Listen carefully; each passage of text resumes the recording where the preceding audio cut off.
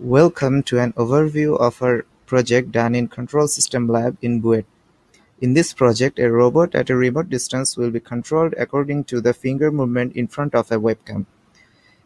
The image processing to detect the finger is actually based on a red object detection algorithm. So we wrapped a red tape around a finger to detect the finger movement. Here is the list of the hardware used for our project. Bluetooth HC-05 module. It is the Arduino Uno we used. This is the DC motor driver. It has L293 IC and a 7805 IC. Here is the battery we used in our project and these are the two DC motors we used to drive the wheels. We will show how finger movement in front of the webcam controls the movement of the robot. We are seeing that the finger is placed at the middle of the webcam as a result the robot is in static position. Now if we move the finger upward, we seeing that the robot moves a forward direction. We will show that the downward movement of the finger will give a backward movement of the robot.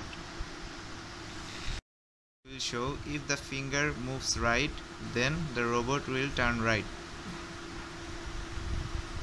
Yes, we are seeing the robot is always turning right now now the finger is moving in the middle position the robot stops now if we move the finger in the left direction then we will see that the robot is turning in left and again move the finger in the middle and the robot stops. At this part I will show how the robot works.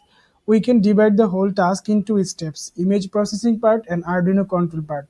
For image processing we use MATLAB and here is the MATLAB code. Continuous snapshots were taken via webcam. And for real-time operation, the code generates coordinates of red object continuously and sends a user-defined character to Arduino via Bluetooth module HC-05. And the next, the Arduino control part. Here we can see a block diagram the Arduino module sends signal to the motor driver after processing the received data from laptop and the motor works in this way. Now I am interested to show the application of our project. This robot can be used for gesture-based vehicle control for handicapped people. It can be used for real-time gaming experience. This robot also can be used for rescue operation and as a spy robot. Thanks for watching.